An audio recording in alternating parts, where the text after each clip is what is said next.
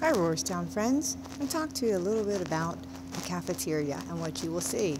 As you can see, it's still our cafeteria and the tables are set up.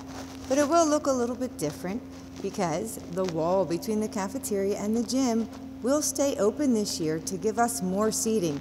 You can see all the way over into the gym.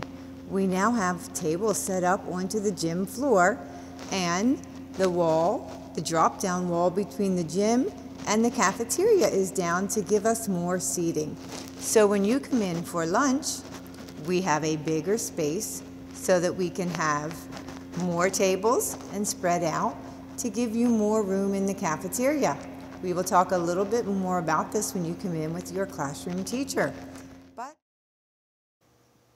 there are designated spots in the cafeteria for students to sit. There will also be numbered spots, and each student will be given a specific number to sit in the cafeteria.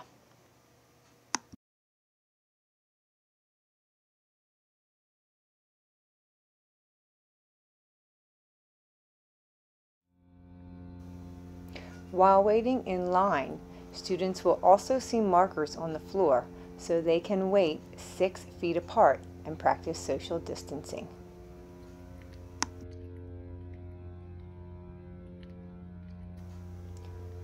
There will also be arrows on the floor, giving students direction for traffic patterns which way to proceed in the cafeteria.